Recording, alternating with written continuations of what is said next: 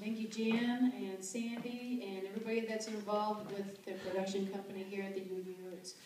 You're taking very good care of us. We appreciate you very much. This first piece is off of our first release. It's called Whirlwind.